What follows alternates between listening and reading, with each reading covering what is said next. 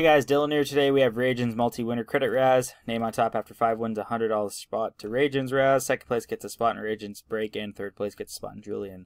We have Clay and Merv with the bookends. Everyone in it between. Good luck to you all.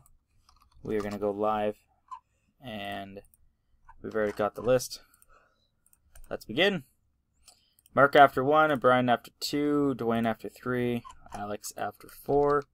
Timestamp is 220116, and that is at 610 or 601 8, 601 at 601. And our top three, we have Clay getting $100 towards Rajon's Razzes.